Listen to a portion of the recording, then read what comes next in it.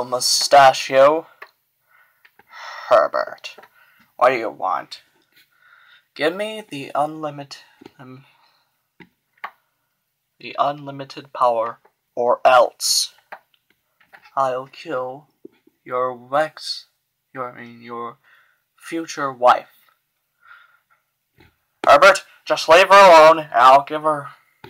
I'll give you the powers. Good. No!